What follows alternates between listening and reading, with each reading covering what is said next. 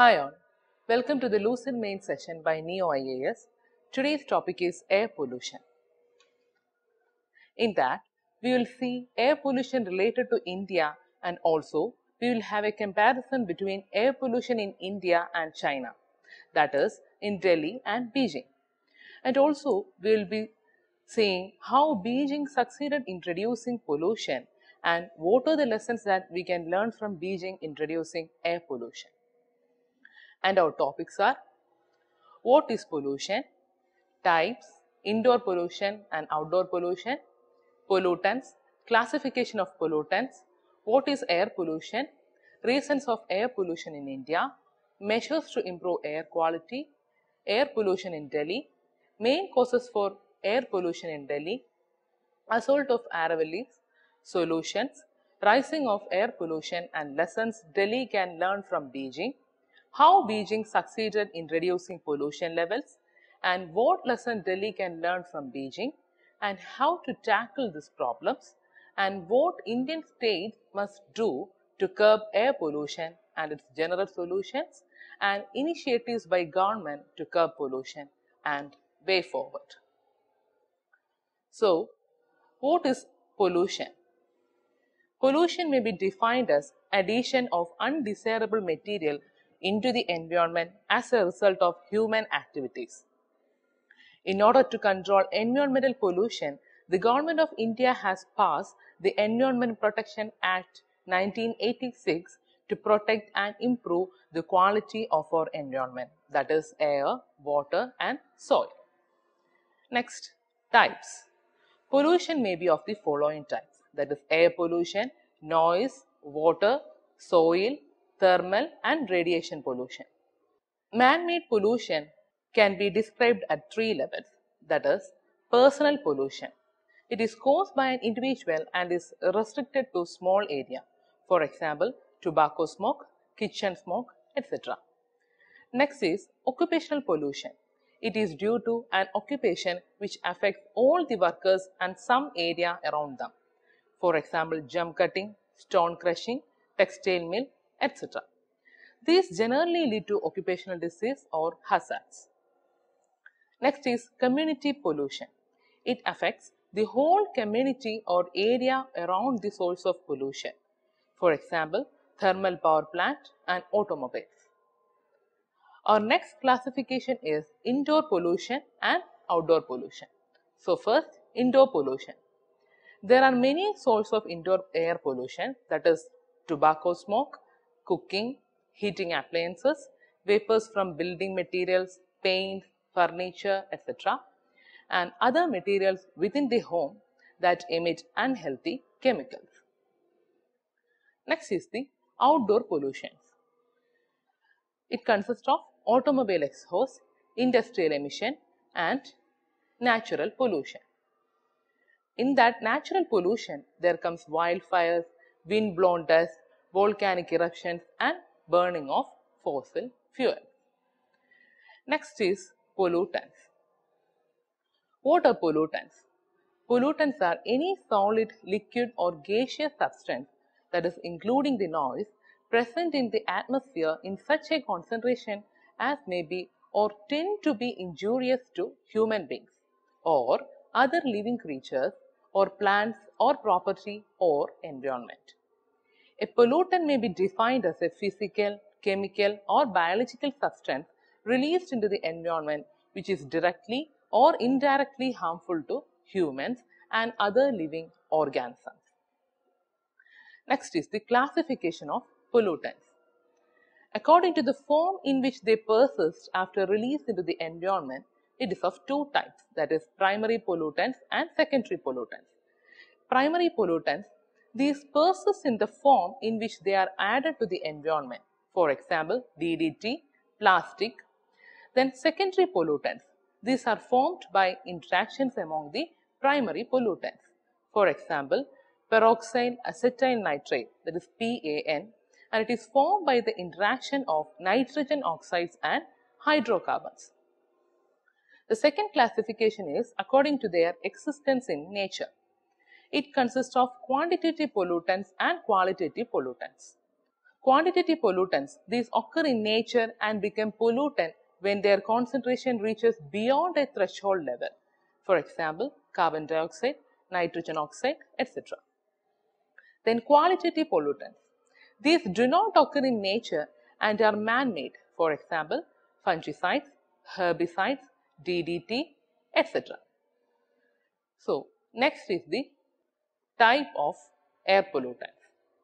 In that, primary pollutants, pollutants persisting in the air in the form they are released into it.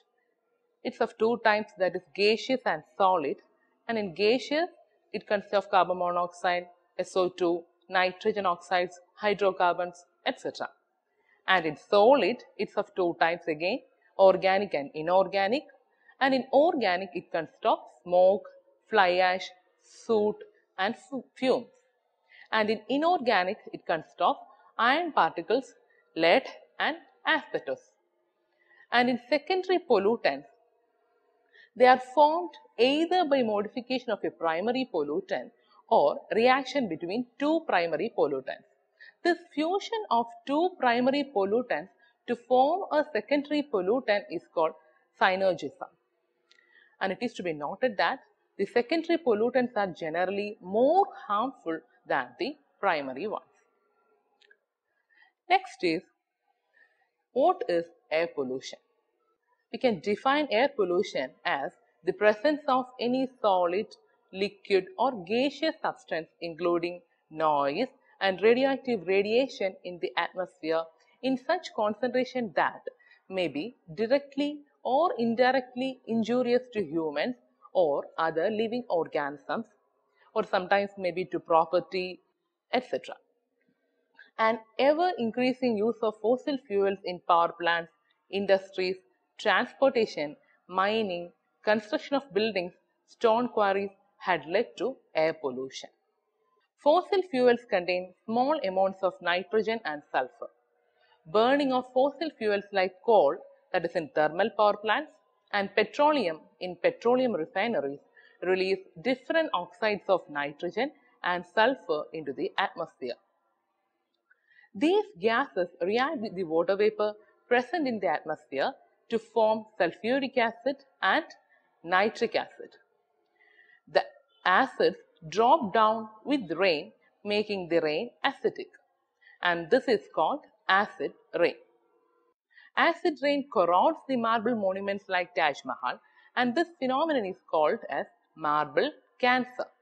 The other kinds of pollutants are chlorofluorocarbons that is CFCs which are used in refrigerators, air conditioners and as pressurizing agents in aerosol spray and CFCs damages the ozone layer of atmosphere. The combustion of fossil fuels also increases the amount of suspended particles in air. These suspended particles could be unburnt carbon particles or substances called hydrocarbons. Presence of high levels of all these pollutants causes visibility to be lowered especially in cold weather when water also condenses out of air. This is known as smog and is a visible indication of air pollution. So in next slide, it is a diagrammatic representation of formation of the photochemical smog. Next we can look what are the reasons of air pollution in India. High dependence on coal for power, high levels of poverty, poor governance, access to technology, unplanned urbanization and continentality. Next we can discuss measures to improve air quality. As suggested by the Greenpeace, following measures can be employed to fight air pollution in the country.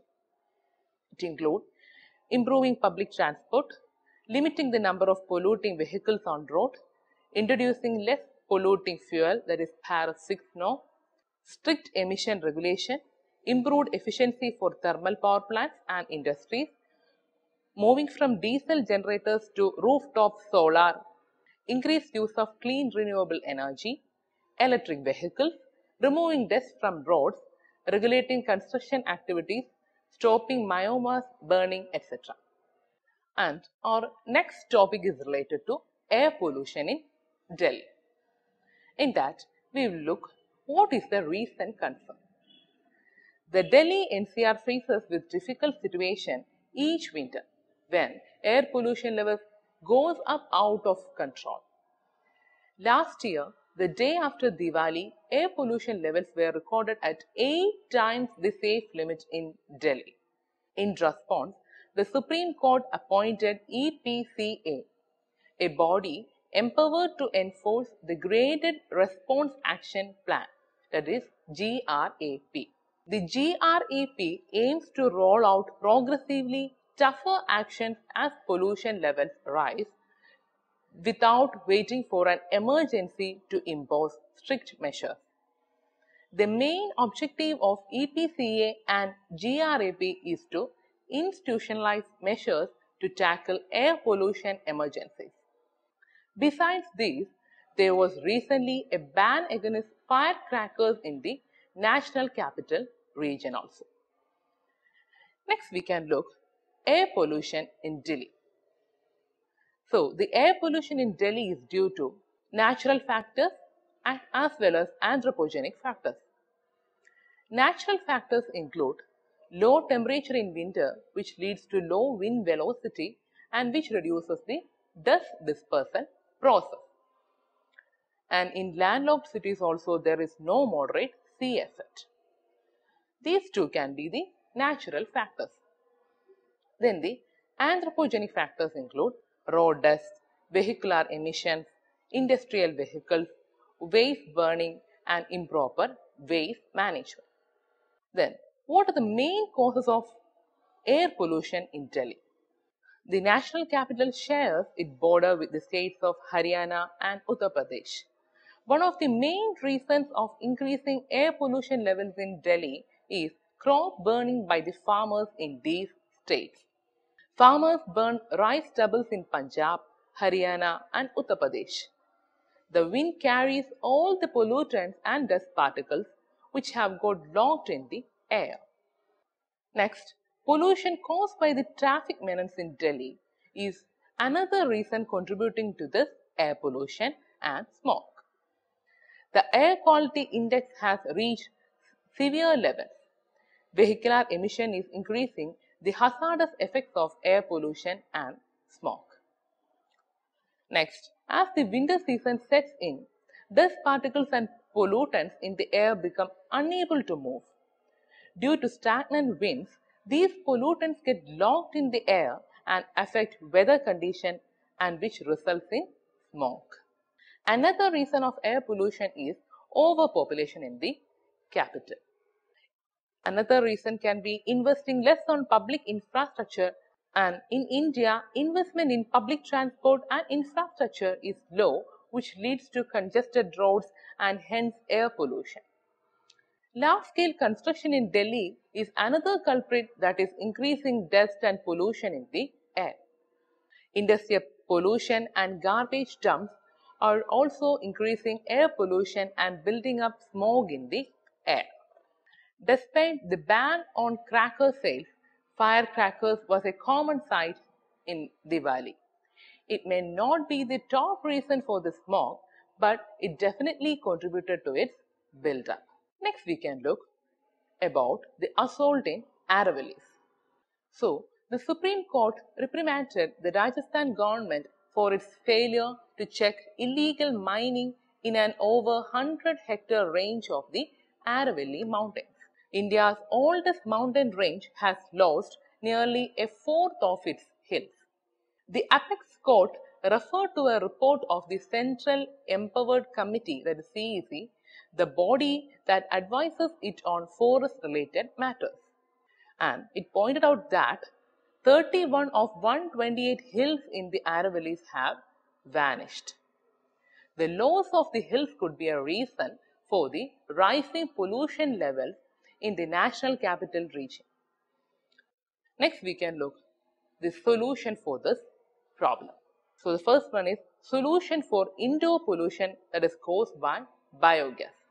Replacing biogas with LPG, the easiest would be to get all households to use clean energy for cooking with liquefied petroleum gas that is LPG or electricity. Burning of cow dung cakes and firewood for cooking not only harms the lungs and eyes of the woman, it is also a major source of all air pollution. Electricity is targeted to reach all households by next year. Its use for cooking can be promoted.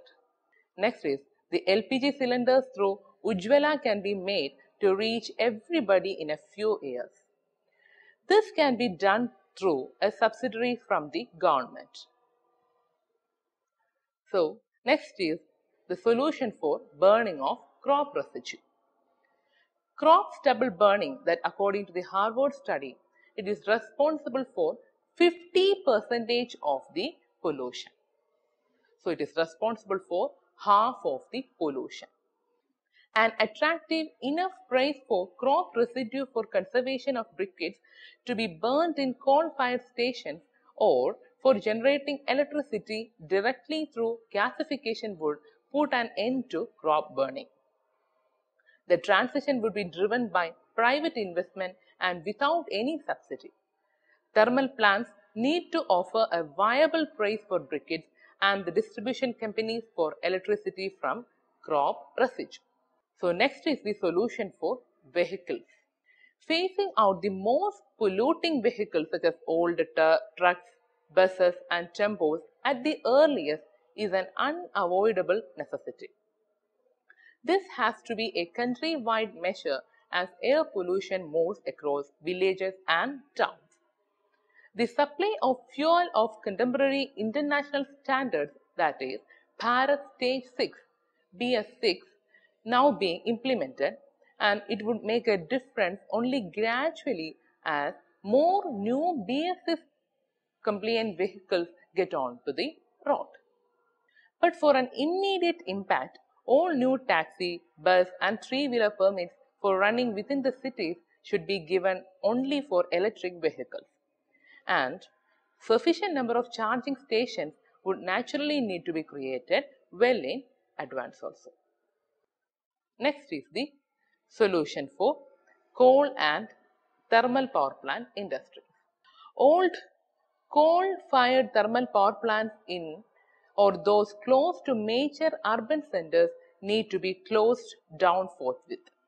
All industrial clusters need a diagnostic audit for air pollution. Technically feasible measures with state financial assistance and in partnership with industrial units would have to be implemented to reduce air pollution. Clearly, the use of coal for energy and heating by small industrial units has to be phased out.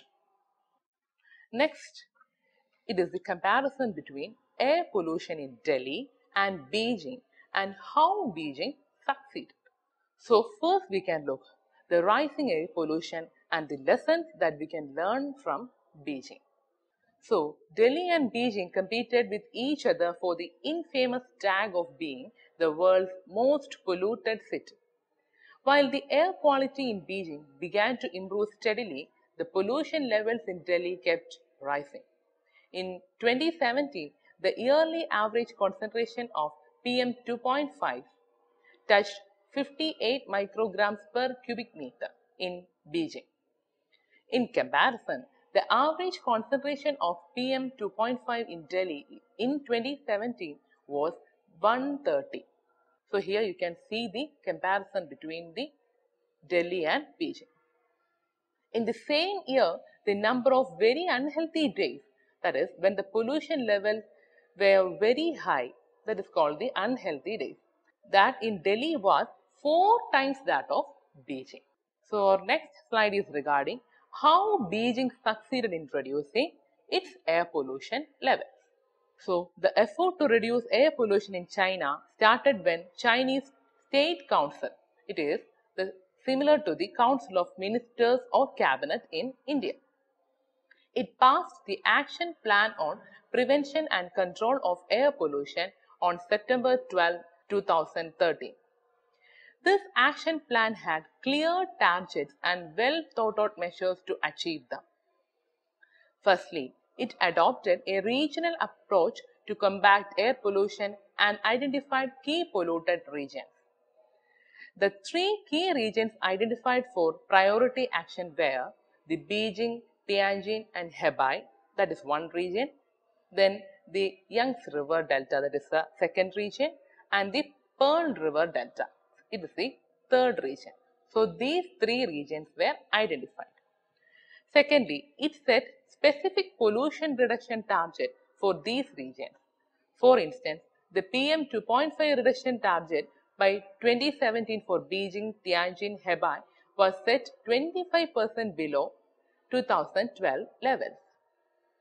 Specifically for Beijing, the action plan required that annual average PM 2.5 concentration be within 60 microgram per meter cube by 2070. Finally, to achieve these targets, the action plan defined 10 measures. And the 10 measures include first one, development of integrated control efforts for reducing multiple pollutants. Second, establishing regional coordination mechanism. Third, improving environmental regulation and enforcement. Fourth, establishing monitoring, warning and emergency response systems. Fifth, clarifying responsibilities of different organs of the government. Sixth, accelerating technological transformation. Seventh, promotion of energy saving technologies. Eight, environment friendly technologies. Ninth, upgradation of industrial technology. And tenth, shifting of industries. So, it adopts these 10 measures. So, based on 10 measures, implementation rules for action plan on prevention and control of air pollution were issued by Chinese Ministry of Environmental Protection on September 17, 2013. The rules clearly spelled out the action plan to control air pollution for different municipalities and provinces in the Beijing, Tianjin and Hebei region. Accordingly, Beijing's government formulated its Clean Air Action Plan and Air Pollution Prevention and Control Regulations. The Clean Air Action Plan of Beijing included specific actions and targets such as motor vehicle pollution control, control on pollution from coal, stringent regulation and enforcement, and ecological restoration.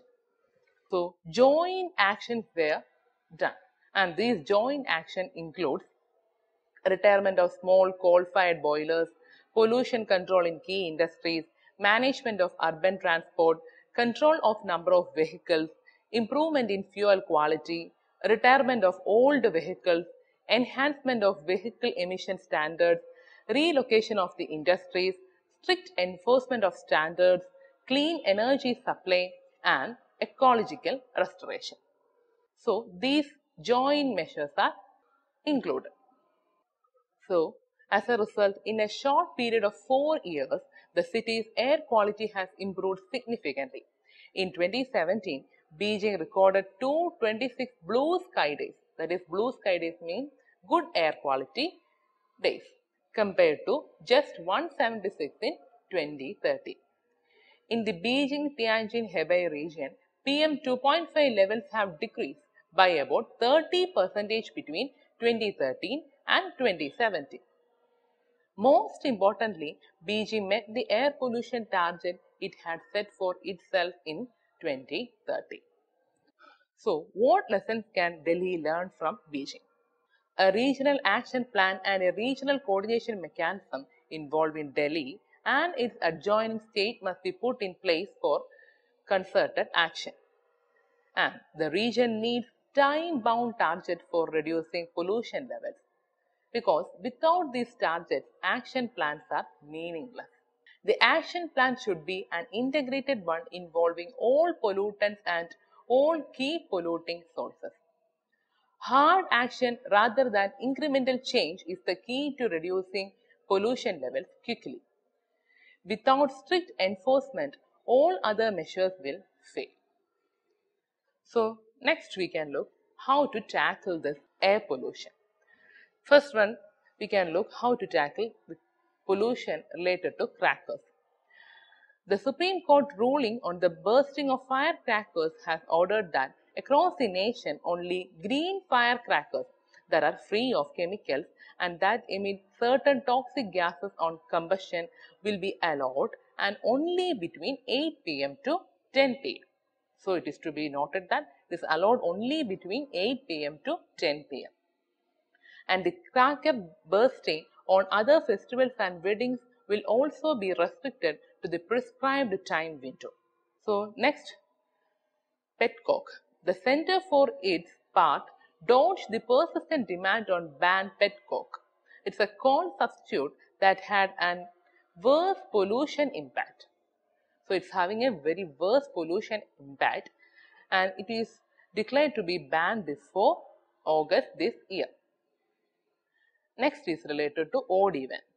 A more viable solution than odd even was completing the peripheral highways around the capital to lower the movement of trucks into the area.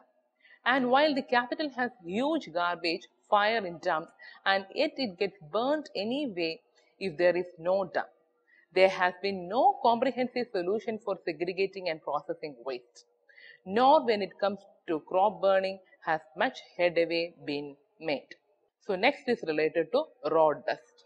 The Delhi government has talked of mechanized sweeping and water sprinkling, but what would be more beneficial is if the sides of the roads could be paved or covered with grass that holds the soil together and stop the production of the dust in the first place.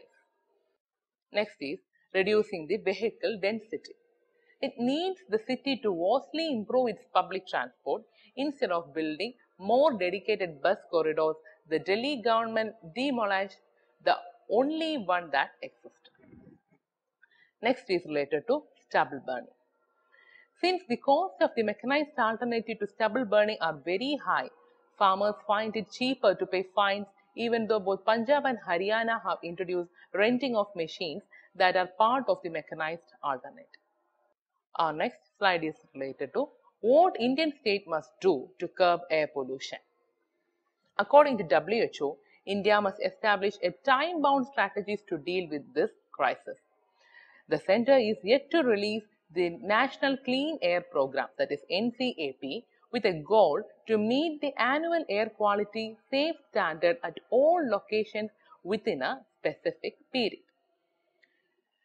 One of the targets being considered is to reduce the PM2.5 concentration by 35% in the first five years of NCAP implementation in more than a hundred cities.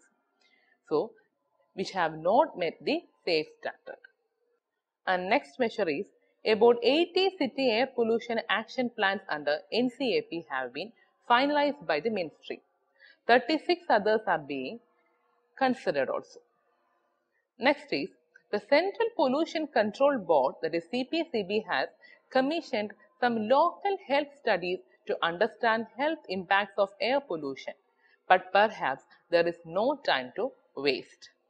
The state governments can make it legally mandatory for the city, state or district administration to meet the target. So next we can look some general solutions. So the general solution includes the green cover, the push to renewable, the urban governance, market for agricultural waste, better planning and coordination, forecasting system for better response, and also healthcare for pollution related diseases and coherent environmental policy. Let's look one by one. Green cover. Increasing green cover, especially in the urban areas, must be an indispensable part of urban planning. Other initiatives such as afforestation, greening of highways, etc. must also be picked up. Next is push to renewables.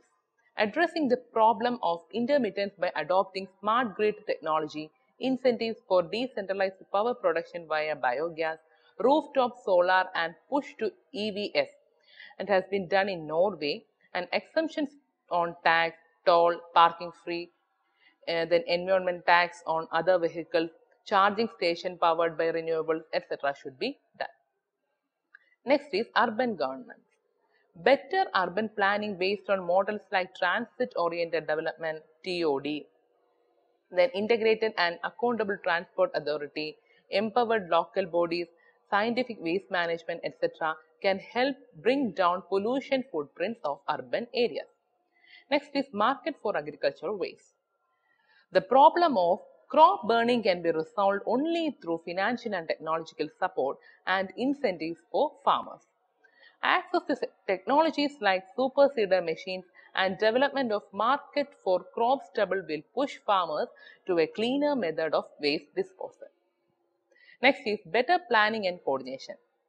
A single body on the lines of EPCA as mandated by the Supreme Court with clear targets and accountability mechanism is very necessary for effective environmental governance.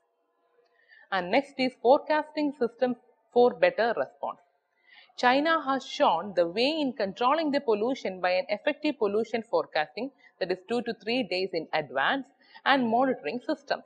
Its permanent odd even policy during severe pollution level, early warning systems, then strict enforcement of GRAP like action plans has significantly brought down the pollution levels in Beijing. Next is healthcare for pollution related disease. Pollution and its health burden are inevitable in the near future. Therefore, it is necessary to equip public healthcare systems with adequate resources for facing this emerging challenge and shield poor from catastrophic healthcare expenditures. Next is coherent environmental policies. Since air pollution knows no boundaries, states and center have to harmonize their strategy to deal with it. Platforms like Interstate Council, apart from serving this objective, can also help resolve pollution related disputes among states. Next, these are the initiatives by government to curb pollution. It includes early implementation of BS6, Green India Mission, electric vehicle, GRAP in Delhi, ban on diesel vehicle and crackers, Ujjwala Yojana, odd even policy, smart city, AMRUT.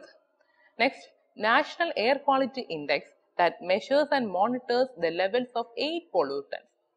We can just look the eight pollutants that's PM10, PM2.5, NO2, SO2, CO, O3, NH3 and PB has to be implemented. And what are the way forward? Cleaning up of the air we breathe will help us to stand away from the NCDs. That is particularly among women and vulnerable groups such as children, those already ill and the elderly. We need a proactive policy spanning multiple years and we need to act fast, local and through multiple agencies across multiple political parties to take the long view on air pollution.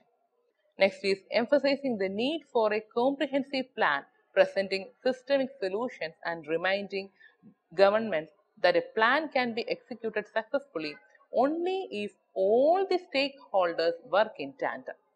This template should also be adapted for other Indian cities that suffer from appalling air quality.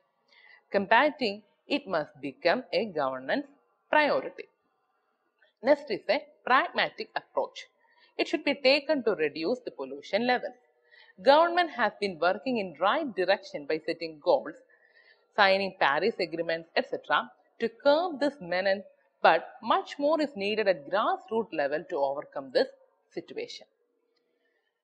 Then, air pollution does not recognize borders.